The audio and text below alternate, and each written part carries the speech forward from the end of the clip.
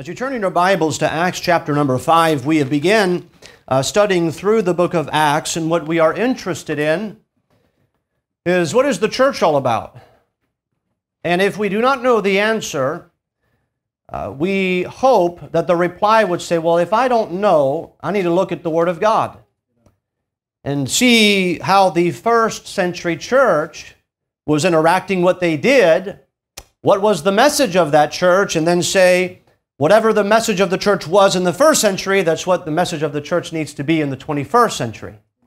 And here we find ourselves in the 21st century, and it is clear that the church landscape has greatly changed. The agenda of the church has greatly changed. And so I pray and hope that our desire is that we be a first century church and that we be first century Christians. And I pray that that is your desire this morning. If you take your Bibles, notice Acts chapter 5. We'll begin reading in verse number 17 in just a moment. If you remember at the beginning of chapter number 5, Ananias and Sapphira uh, hypocritically brought an offering before the apostles. They brought a portion of the money that they sold their land for, and it was not the complete possession. They um, deceived the church. Uh, they attempted to uh, portray themselves as doing something that they really did not do. And we find a really um, gripping event that takes place in that church where Ananias and Sapphira both died.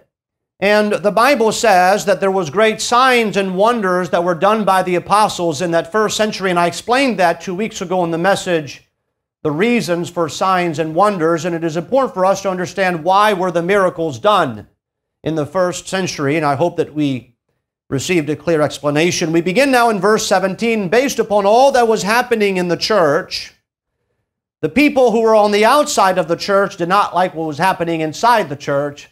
And notice what happens, verse 17.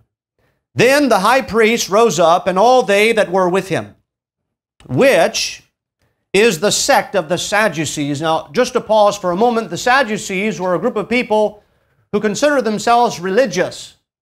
But they did not believe in the supernatural. They did not believe in the resurrection. They did not believe in miracles.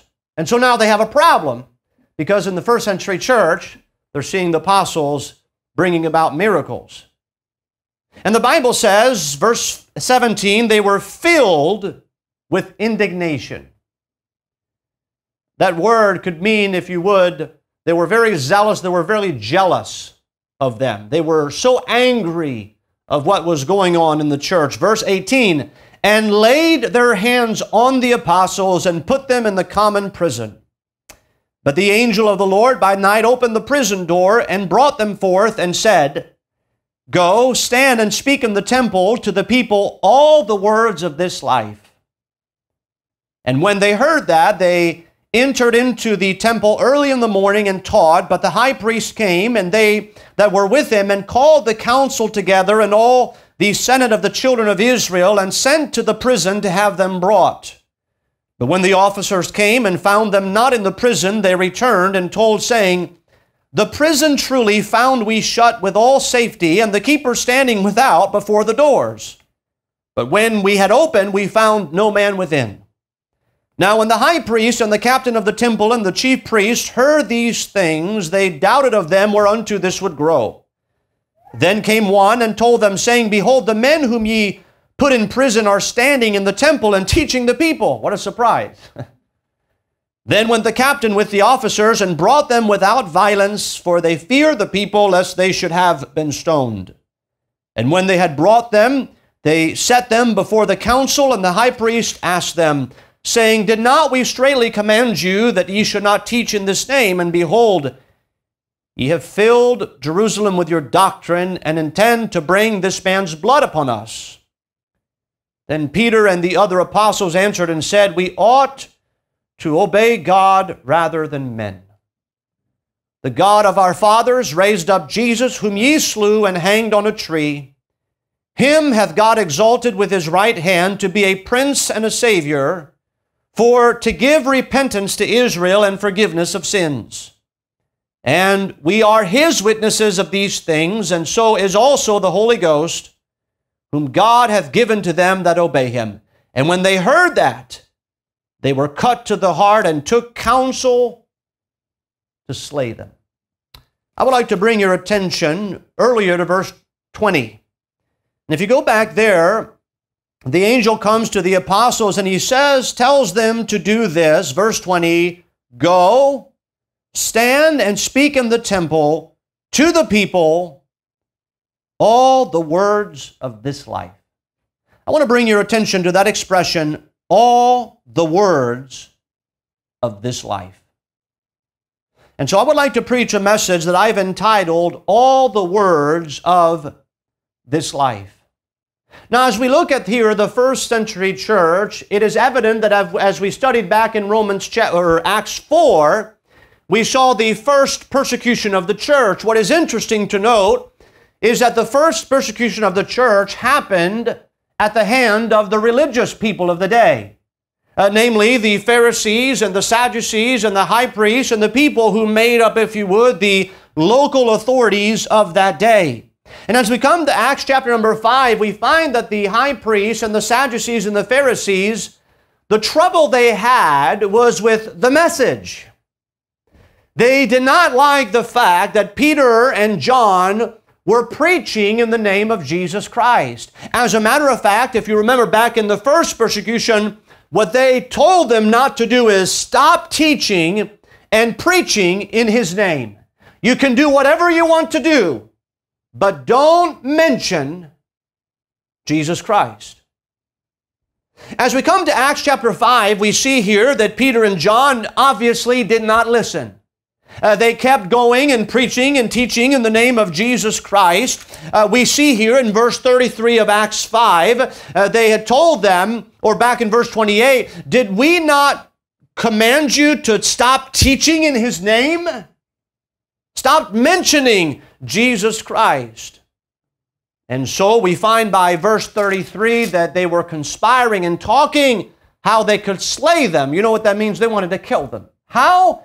Can we legally get rid of those people who are teaching and preaching about Jesus Christ? Now, the reason why I say all those things, as we look at this record, I'm interested in what the angel says to Peter, uh, to, to Peter and John for them to do. They're sitting there in prison. The angel comes and he says, I want you to go to the temple and I want you to speak all the words of this life.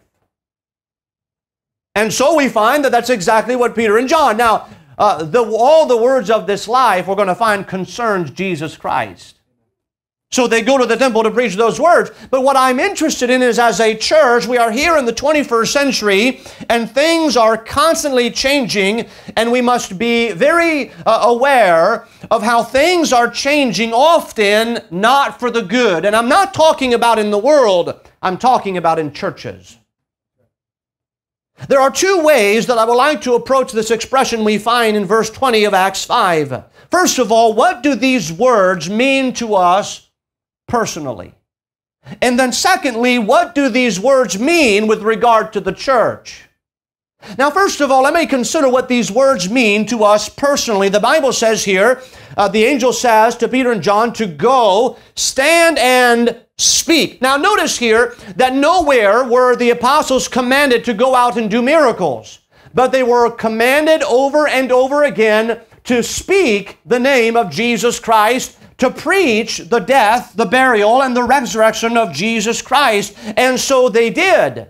And so we ask ourselves here, all the words of this lives, I want to ask ourselves this question this morning Do we know why we are here? I'm not talking about in church. I'm talking about while you're here on earth, while you're alive, while you are breathing at this very moment. Do you know why you're here?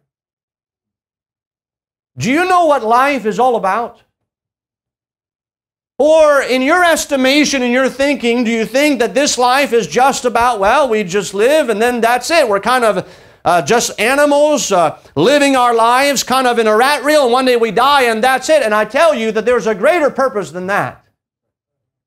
Life is much more than that. I was uh, reading an article that was written by Neel Burton, who is a doctor in psychiatry. He is a philosopher from Oxford, England. He wrote an article entitled, What is the Meaning of Life? And so I thought to myself, well, let me read this article and see what he says about what this life is all about. He wrote this article in March 3rd of 2018. And in the article, he says something like this. Having no purpose at all is better than having a kind of predetermined purpose. Now, what he is saying is to have no purpose is better than have, according to the Word of God, a predetermined purpose set forth by the Word of God. He goes on to say, in short, even if God exists, and even if He had an intelligent purpose in creating us, and why should He have one? We do not know what this purpose might be. And whatever it might be, we would rather be able to do without it. Or at least ignore or discount it. He goes on and he quotes Plato, uh, once defined man as simply this a being in search of meaning. Now that's interesting because he says there is no meaning to life. But then he said that's what a human being is. A human being is someone who is in search of meaning but never finds it.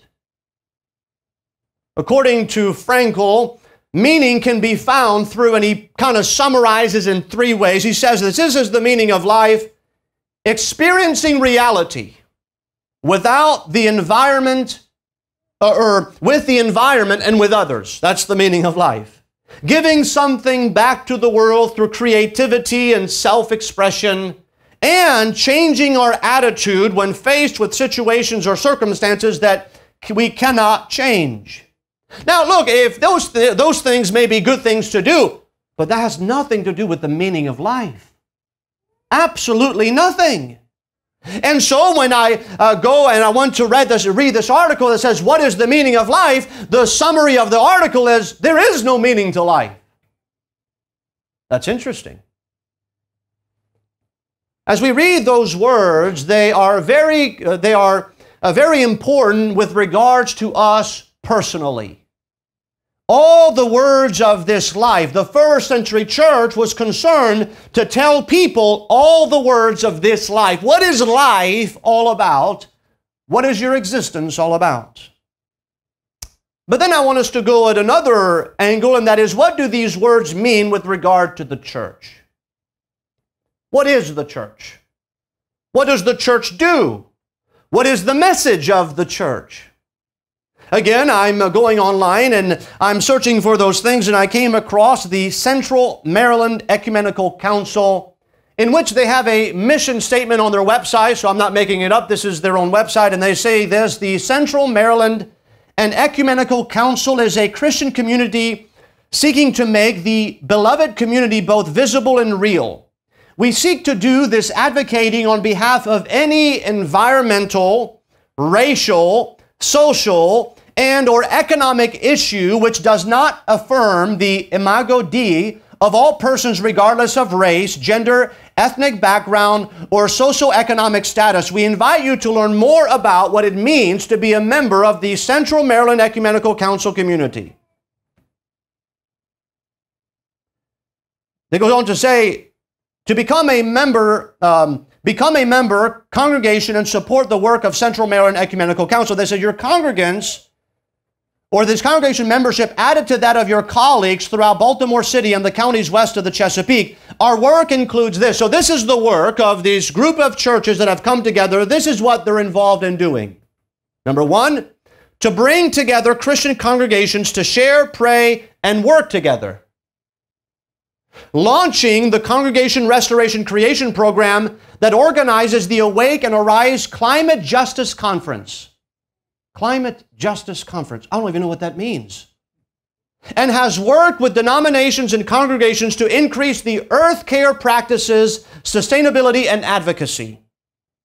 Working with ecumenical leader groups of Maryland to successfully the, repeal the death penalty, pass the DREAM Act, and the Gun Safety Act of 2013, and to further even stronger clear energy legislation.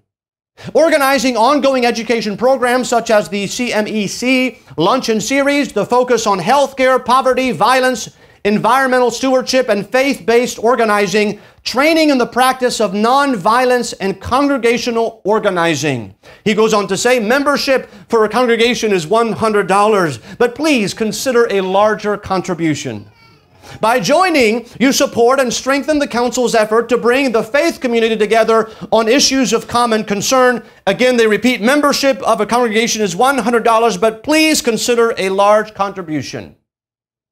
Who is part of this council? Let me list it for you. The Lutheran Church, the Episcopal Church, the United Church of Christ, the Quakers, the, the United Methodist Church, Christian Science, the Presbyterian Church, the Catholic Church, and Baptist churches. Now, you may pause here and say, well, what's the big deal? I'll tell you what the big deal is. The agenda of this ecumenical group has nothing to do with what the Word of God says the church is supposed to do. The church of the first century had a clear message. And that clear message was the gospel of Jesus Christ. All the words of this life. What is life about? And what has happened here today in the 21st century, which started happening really in the mid 1800s, the church has brought in some social agenda that has nothing to do with the gospel. And what the message of the church is, is a message of the gospel that will change your life socially. You see, the gospel is not a message of social change. The gospel message is something that will change your life. The uh, message of the church is not how the church can change the world and how the, we can make the world a better place. The gospel message is how you can be saved from your sins. And the church today in the 21st century, all of those churches have lost the message of the church. They're involved in everything else, and I believe that the dictates of their behavior and their work has been molded and shaped by the world. As we come here to Acts chapter number 5, the angel says to Peter and John, verse 20, Go stand and speak in the temple to the people all the words of this life. Now, the account we read here is quite remarkable. And before I go into the message, I want to give us here an understanding of what was happening. Peter and John and the apostles were going around clearly preaching the gospel based upon Acts chapter 5, Acts chapter 3, Acts chapter 2. The message was pretty clear. Jesus Christ came, He died to pay for your sin debt so that you can receive the remission and the forgiveness of sins. And that is the message of the gospel. And so here the high priest, the people who are in rule, the people who are in authority, they put their hands on them and they put them, according to the Bible in verse number 18, in the common prison. Why? Because they were filled with indignation. Now, what is interesting today, we are in the 21st century, and people come and say, well, here, you don't understand, Pastor, we are in the 21st century, and now that we are in the 21st century, you've got smarter. We understand things. We understand science. You know, uh, the uh, idea of believing the Bible and being religious and uh, kind of believing what the Bible says, that's kind of archaic. Uh, uh, you know, today, the reason why the world is unbelieving is because we are, after all, in the 21st century, are we not? And I say to us, to everyone, that the idea of being unbelieving is not a new idea at all. It's as old as the gospel. You see, the first unbeliever, unbelievers were fined the first time the gospel was preached. They did not believe.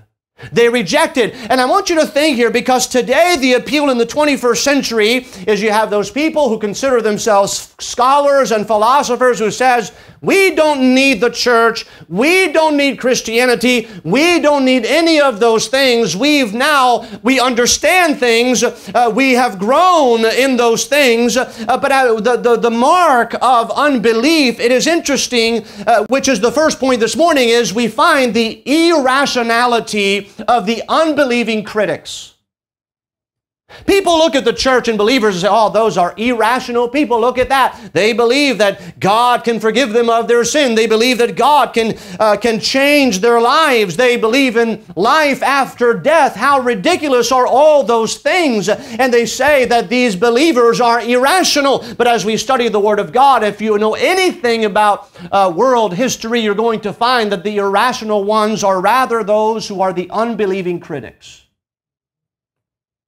In this chapter alone, who are the ones throwing who in prison? The unbelievers are grabbing a hold of Peter and John and they're putting them in the prison. Why? There was some indignation about them. The word in verse 17 says, For they were filled with indignation. They could not stand the message that Peter and John were preaching. There was a jealousy about them. Why? Because these were the people, the high priest and all the Sadducees. You know who these people were? They were the political, authoritative class in that day. And they looked down on the common people.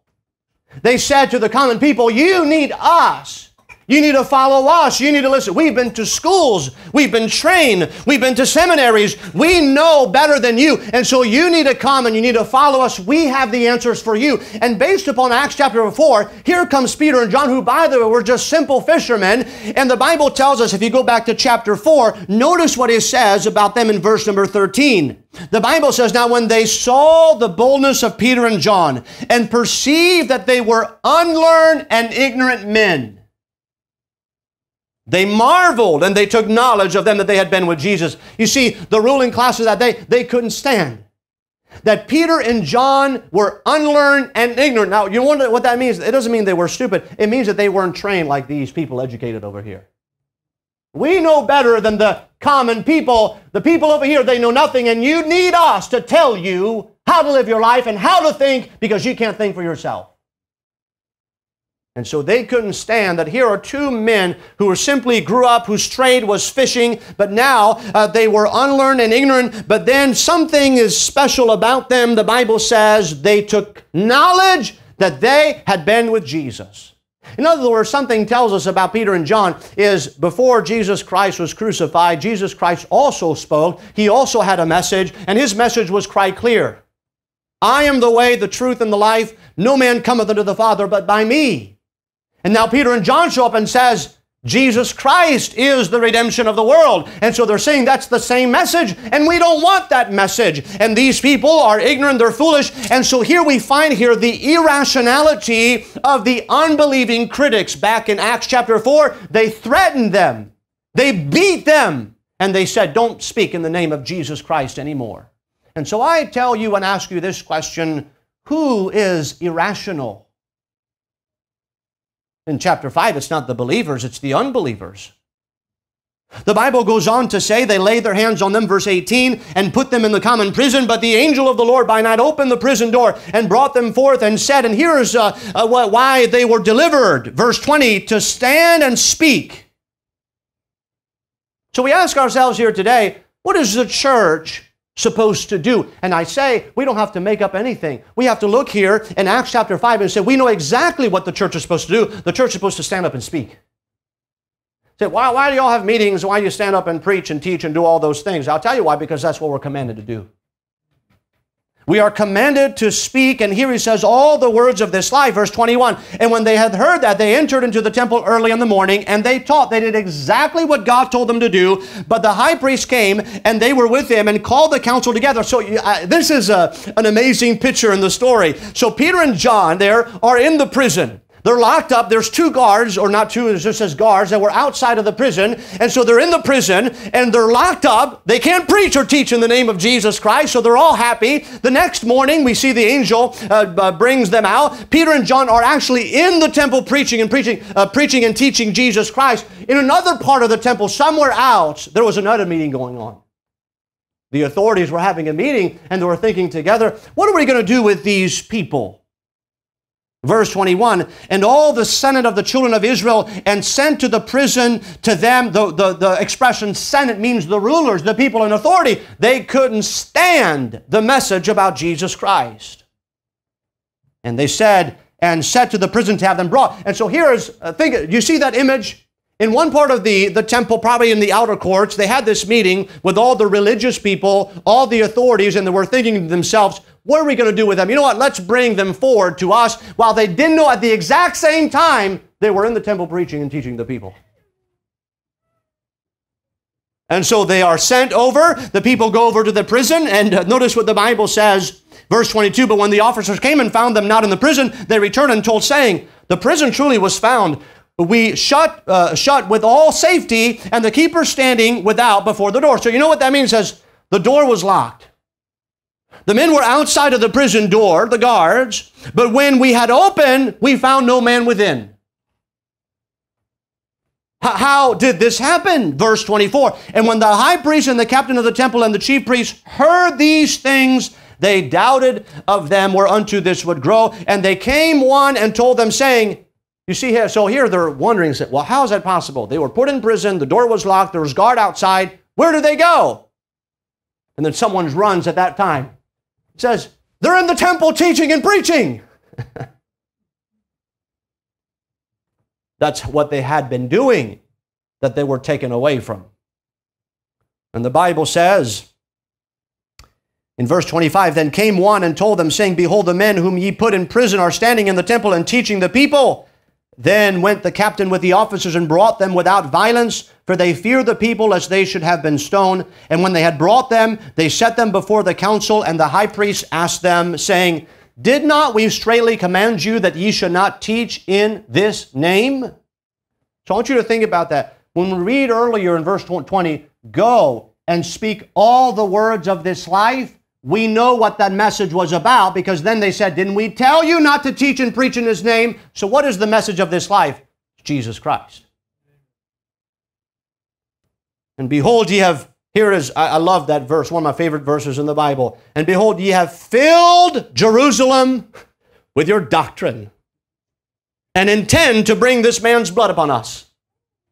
Uh, so uh, you see here the irrationality of the unbelieving critics. They tried the threats. It didn't stop them. They put him in prison. It didn't stop them. Then we read later in verse 33 when they heard that, they were cut to the heart and took counsel to slay them. So now, just like for the Lord Jesus Christ, they're conspiring, they're talking among themselves. How can we rid ourselves of those people? How can we kill them? Well, we are in the 21st century, and Certainly, there are a number of countries where those who preach the gospel are silenced. Whether it is because of physical opposition or whether it is mockery or uh, it is the attempt to silence the preaching and the teaching of Jesus Christ. And so, what we notice in our text in Acts chapter 5, we see the irrationality of the unbelieving critics.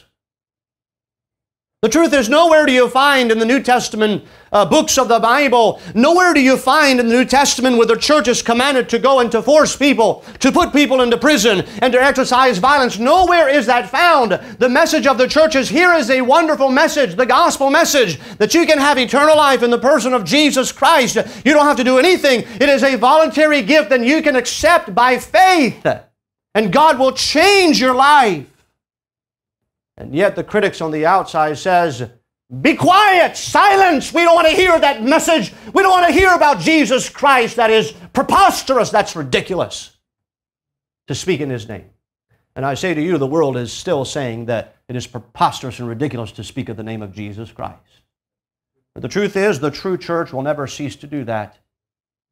The ecumenical movement and all those churches joining forces to get together some social agenda are entirely missing what they're supposed to be doing. So we see the irrationality of the unbelieving critics, but secondly, we see the instruction from the unlearned Christians. And I use the term unlearned Christians not to ridicule them, but to use the expression that the uh, religious uh, uh, authorities of that day referred to them as. They are unlearned and ignorant men. And if that means that people take notice that we have been with Jesus, I'll take that title. As a matter of fact, the title Christian was not a title that we chose for ourselves. It was what those who persecuted the Christian called them. Oh, those are Christians. It was actually a curse word. It was a way to curse somebody. Ah, you're a Christian.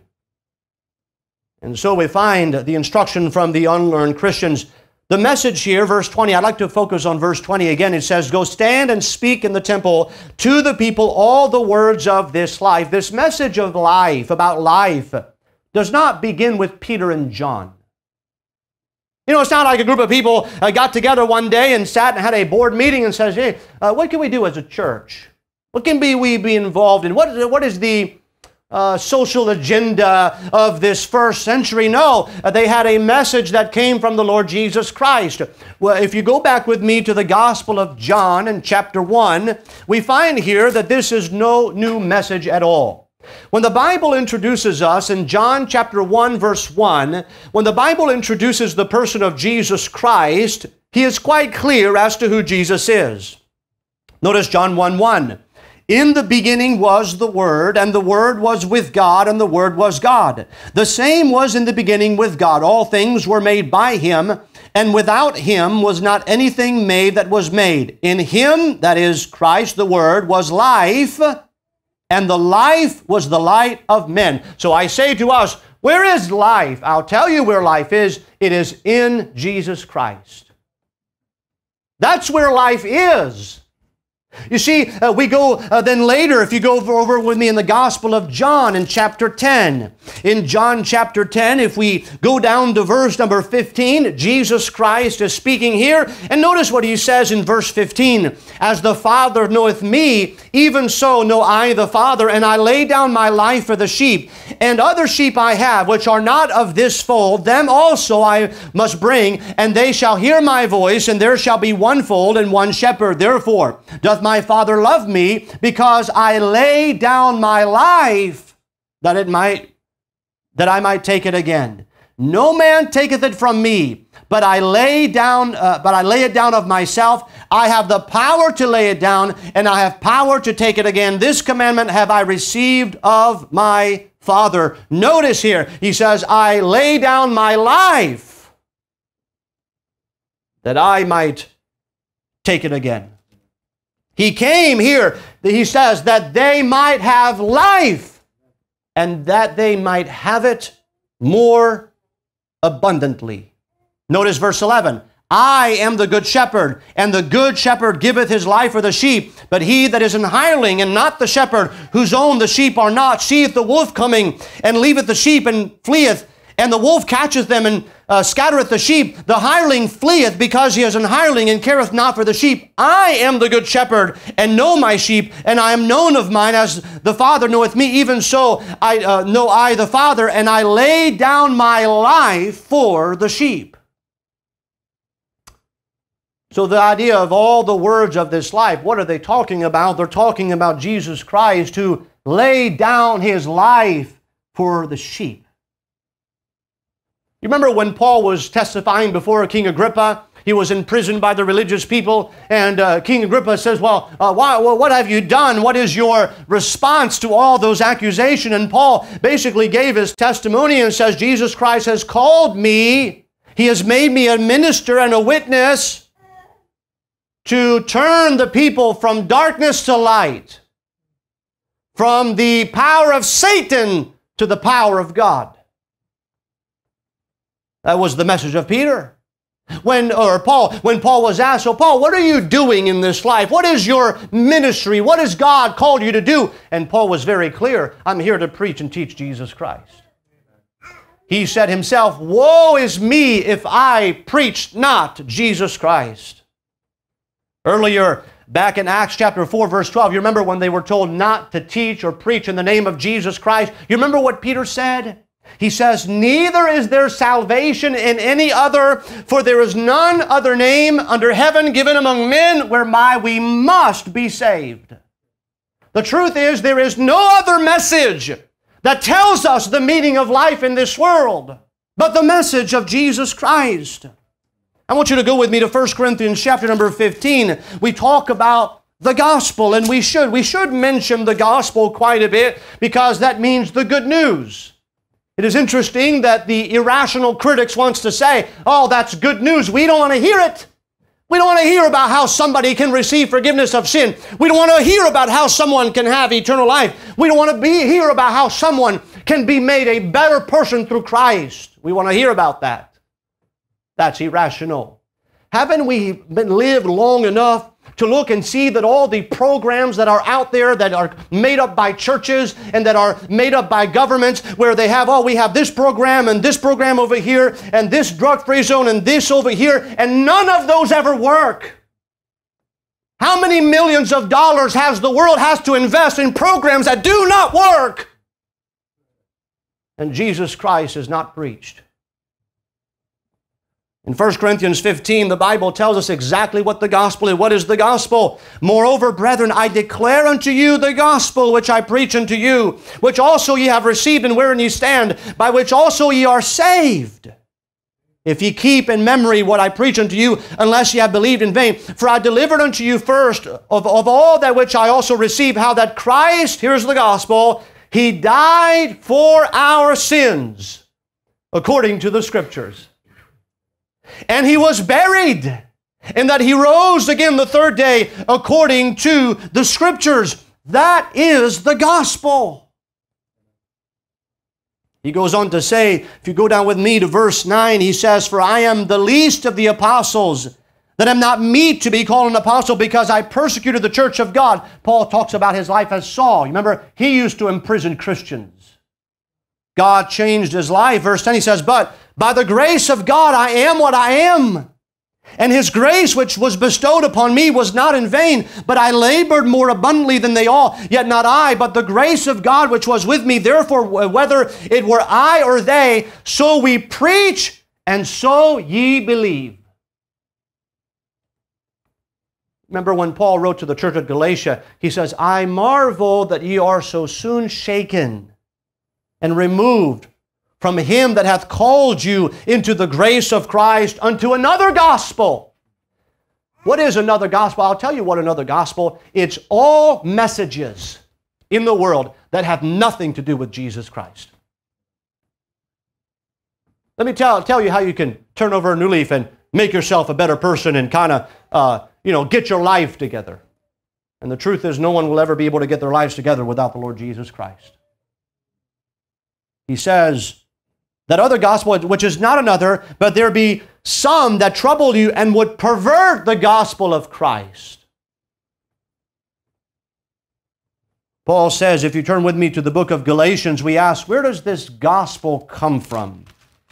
Did Paul come up with that message of the gospel? Did Paul just have a dream one day and he says, Oh, yeah, I mean, that sounds wonderful. No, Galatians chapter 1, in verse number 8, the, Paul describes here, he says, Verse 8, But though we or an angel from heaven preach any other gospel unto you than that which ye have preached unto you, let him be accursed. As we said before, so say I now again. If any preach uh, if any man preach any other gospel unto you than that ye have received, let him be accursed. For do I now persuade men or God, or do I speak uh, or please men? For if I yet please men, I should not be the servant of Christ.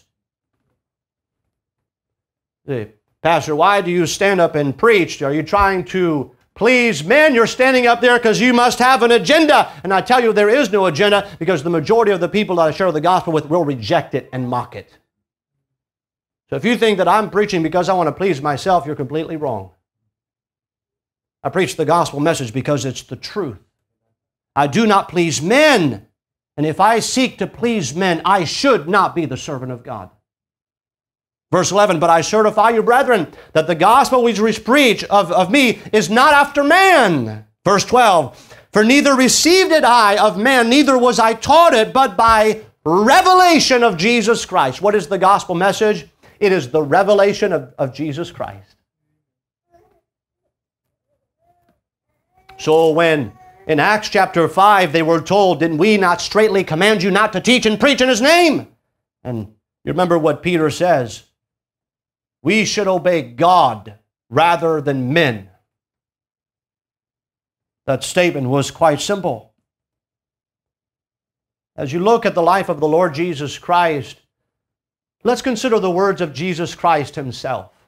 He said in Matthew 20, 28, The Son of Man, speaking of himself, came not to be ministered unto, but to minister and to give his life a ransom for all. In John 12, 24, Jesus was teaching and he said, Except a corn of wheat fall into the ground and die, it abideth alone, but if it, die, but if it die, it bringeth forth much fruit. He was speaking of himself. And then he said in verse 32, And if I, if I be lifted up from the earth, will draw all men unto me. That's what he said. Then when he would be lifted up on the cross, at that moment, he would draw all men unto him. And so the apostles that come afterwards in the book of Acts, now that Jesus Christ has ascended up into heaven, the apostles that come, what are they preaching? They're looking back and they're saying, Jesus Christ says, Come unto me. I am the answer. In John 3 14, Jesus says, As Moses lifted up the serpent in the wilderness, even so must the Son of Man be lifted up, that whosoever believeth in him should not perish, but have eternal life. You see, when we read that expression in Acts chapter 5, go and speak all the words of this life, what were they going to preach about? Hebrews 1 1 says, God who at sundry times and in divers manners spake in times past unto the fathers by the prophets, hath in these last days spoken unto us by his Son. We ask ourselves, what is then the message of the gospel, right? It's Jesus died for our sins. He was buried. He rose again. We're go about, going to baptize a few folks after the service here at the end. And what is baptism about? It pictures the death as the water crosses your body, it represents the death of Christ. As the person goes into the water, it represents the burial. And as we come out of the water, it represents the resurrection. And so there is a picture of the message of the gospel in this baptism. And that is the message that is declared. But we ask ourselves, what, what happened on the cross? What is it that happened on the cross? And I'll tell you what happened. You remember the words of Jesus Christ. He says, Father, forgive them, for they know not what they do. And then he said a few words, but uh, he said at the conclusion before he gave up the ghost, he says, It is finished. Finished. What was finished? You see, we think about all the words of this life. What, what is the message of the Bible? What is the one central message that the Bible declares? I'll tell you what that message is. It is that the message that man rebelled against God and sin, and because of his sin, there was a curse upon man. And so now every person is born with a sinful tendency, a natural instinct to do the wrong thing. And that is, by the way, comes naturally to you and I. And that's how we are born. We are born with a sin nature. We we still willfully against God, and the law of God is written in our hearts so that we know when we are guilty of breaking His law. And so we stand here as guilty sinners before a holy God, and the Bible says that the wrath of God is revealed against all unrighteousness Uh, and ungodliness of men who hold the truth in unrighteousness. And so as we stand as sinners before a holy God, we are guilty. We are under the wrath of God. We deserve an eternal punishment in a place called hell because of our sin. And we love our sin as much as you may try to deny it. You love your sin. That is your nature. And that's why God in his love, according to John 3:16, for God so loved the world that he gave his only begotten son, that whosoever believeth in him should not perish but have everlasting life. And when Jesus Christ was on this earth, he lived for 33 and a half years and constantly repeating to his disciples, I'm going to be betrayed in the hands of sinners. I'm going to be put to death. And uh, the disciples in a sense rejected that. They didn't want to see that. But yet Jesus Christ was betrayed. He was taken in the hands of sinners. He he was placed upon a cross and he died on the cross. We say, what happened when he died on the cross? As it was pictured all throughout the Old Testament when the children of Israel were bringing their offering and their sacrifices, uh, it was a picture of what was going to happen one day when Jesus Christ would come because the Bible tells us in the book of Hebrews all those earlier sacrifices, they could not save from sin. Only Jesus can save from sin. And so when Jesus was set up on the cross, what happened? The Bible says, God hath made him Christ to be sin for us. Did you hear that? God hath made him Christ to be sin for us, who knew no sin, that we might be made the righteousness of God in him. And so when Jesus Christ died on the cross, understand what happened there. It was more that it's not that Jesus Christ died and was a martyr, rejected of the world, although those things are true. But the Bible says when he died on the cross, in that moment, he became sin for us. And what happened on the cross of Calvary is de- described for us in Galatians chapter 1. He blotted out the handwriting of ordinances that was against us, nailing it to his cross and took it out of the way. And so you say, What happened on the cross? What's the significance of the cross of Calvary? I'll tell you what the significance is of Calvary is that on the cross of Calvary, it was not just Jesus Christ that was hanging there, I was hanging there, my sin was hanging there, all the filth in my life, all the wrong thoughts, all the wrong motive, all the wrong behavior, every filth that every man has ever committed was hanging there on the, on the cross of Calvary, and Jesus Christ became sin for us. He became sin for you. He himself knew no sin. But he came sin for us to do what? That we might be made the righteousness of God in him. How can we be righteous? How can you be righteous in the sight of a holy God? Only through Jesus Christ. He alone is righteous. We are not.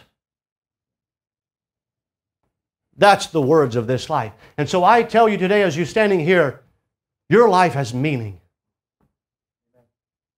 You're not just an animal strolling through this life, running in a rat race, and then one day you die and that's it. No, your life has meaning, so much meaning that God sent His only begotten Son to die to pay for your sin debt. And He desires to give you eternal life. The Bible says the wages of sin is death, but the gift of God is eternal life through Jesus Christ our Lord. You want eternal life? It can only come through Jesus Christ. The righteousness of men is filthy rags. The only righteousness that is worthy of God's acceptance is the righteousness of Jesus Christ. So, as we read here and we ask ourselves, what is, to us personally, all the words of this life? Do you know why you're here? Do you know what life is about? I'll tell you why you're here. You're here to bring glory to God. You have purpose and meaning. So much meaning that God loves you, and in His love, He died to pay for your sin debt. God became man that He might die for you. But then, what do these words mean with regard to the church? What is the church? What does the church do? And I'll tell you what the church does. The church preaches the gospel. All the words of this life. We have a message. That message is about the Lord Jesus Christ that can redeem sinners just like all of us and change our lives. That's the message of the gospel.